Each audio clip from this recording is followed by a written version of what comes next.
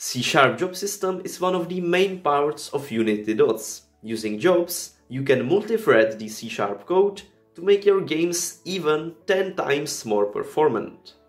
To start, we'll need few packages. First one is the collections package, which in newer versions of Unity is already containing the jobs package. The second package is the mathematics package, which will allow us to use some mathematical functions and data types such as vector2. And if you want to achieve even greater performance, you should download the burst package. In my project, I have just an empty script and a empty scene with empty object on which I have the script. And now we'll take a look at how we can create our first job. Job works kind of like a function. You can give it some input and also output parameters. The way to do it is a bit different, but it has a lot similar with functions, so we can just call the job and execute it. But the main part of jobs is that it is automatically managing the threads for you, so you don't need to decide on which of the threads you will be running it, you can just schedule the job and everything is happening automatically in the background. To the script, I will just add using unity.mathematics, unity.jobs, collections and burst. I usually like to create the jobs outside of the monoBehavior class, so I will make it public. The data type is a struct because the technology stack is data oriented and then just give it some name and make it inherit from iJob. It is really that simple. In it, we also need to add public void execute, in which everything that we want to happen in the job will be happening. So just like that, we have created a job, and in it you can do anything you want. I will just do some mathematical operation. Once we have the job created, we can just initialize it and then schedule it. So let's say in our update void, I will create new variable of the type myJob1 and I will just create new job.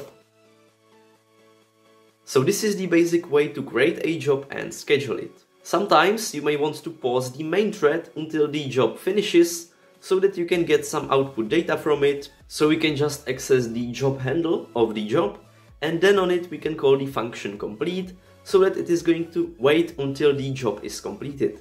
This obviously is going to get rid of the multi-threading, but for this example I just want to show you how long it takes for the job to complete and how long it takes it to complete without the job.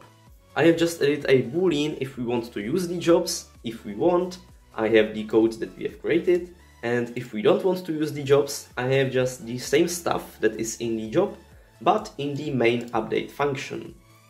If you are thinking that there will be some huge performance difference, there won't be, because we are just calling one job in the update, so it is pretty much the same as just calling all of it in update, and we are also making the main thread wait using the complete function until the job finishes, so right now, as we are not using jobs, we are at 300 frames per second, and when we use jobs, it is really the same.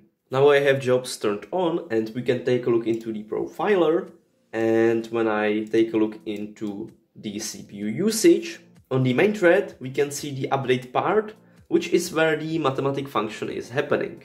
And when I turn on jobs, we can see that the update part is still happening on the main thread because it is waiting for the job to finish.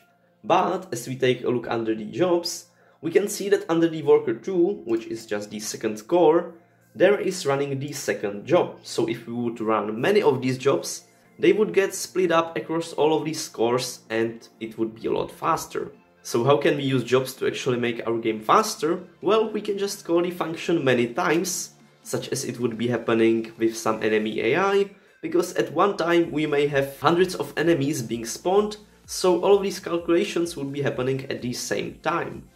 So here I'm just calling the job and also the function 10 times, but with the job we don't want to just schedule it once and then wait until it completes, because again this wouldn't work with the multi-threading. What we want to do instead is schedule all of the jobs and wait until they all get finished. And to do that, I'm first creating native list, which is the part of unity.collections, to create just list for all of the handles then I'm just scheduling the jobs as I did it before and I'm adding the handle into the list and I'm calling the function complete all on the handles. And to make sure that the native list is not still just lying in the memory, because native lists work different than just classic lists, we also need to call the dispose function on it. Otherwise, if we wouldn't call it, we would have memory leaks. And when creating the native list, we also can't forget to specify the allocator to make sure that it stays in the memory at least for some time.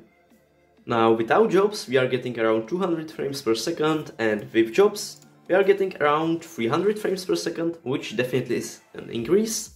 And when we take a look into the profiler without the jobs, we can see that it is all happening just on the main thread. On the workers there is nothing happening. But when we turn on jobs, we can see that all of the jobs get split up between these workers. So we can see my job 1, my job 1, so the multi-threading is really working. To make our code even more optimized, we can use burst, and to use it, it's really simple. Before the job, we just need to add attribute burst compile. Just like that. And you also want to make sure that when you go back to Unity, you go to jobs, burst, and you have enabled the compilation. And with burst, we are getting about 40 frames per second, pretty much for free. The increase in performance is going to depend on the scenario where you use it. In my another example, with jobs we are at about again 350 frames per second, and without it we go down to 30 frames per second, which really is 10 times better. In the second example, instead of having it all in one script, I have just put the same script on multiple objects so that we can really use the multithreading.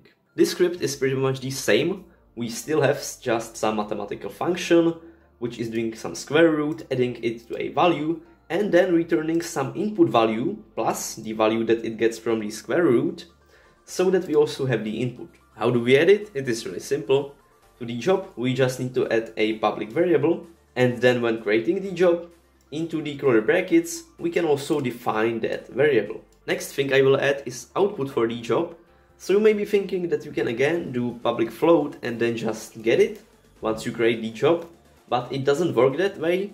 You need to store it in a native array. So in this case, I will just define a native array with type float and then once I have the output, I will just set it to the first index in the native array. And when creating the job, I will also create the array. So the type is again float and I'm initializing it just with one value and passing it into the job. And now using debug.log, we can easily get the output on the first index. Just like that. So when you want to have some output, you always need to create native array for that. And again, because it is native array, don't forget to dispose it. And because we are using the output native array in the job, the allocator should be temp job. And so that we can debug.log the output, we first need to make sure that the job is completed. So on the handle, we can just call the completed function. And now we can see that all of these jobs that are running are debugging us the output and each time it is a bit different because I'm using the input as a random value. Till now we have been using just the classic iJob interface but there are also few more, such as the iJob parallel for, which is usually used with lists. So in this case, I'm spawning many cubes, I'm storing all of their transforms in a list, and then I just want to go through all of these transforms and change their positions, so that's why I'm using this job. So the way to create the job is really the same. Into the execute function, we also need to pass in integer as a index, but you don't really need to do anything with this, the job will already take care of it for us. So on start, I'm just creating some arrays containing all of the directions and movement speed of these cubes.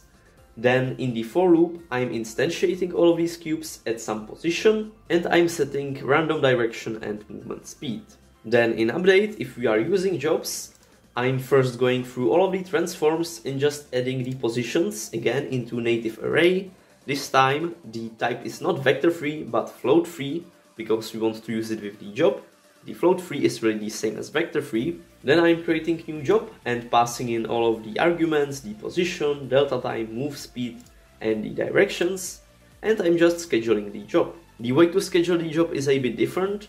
First we need to pass in the total amount of iterations based on the size of the list and then on how big basically one job should be. So right now if I have 1000 objects in the list and I have set the inner loop batch count to 100, it will create 10 jobs. And once the job is completed, I'm just going through all of the objects again and assigning the new position.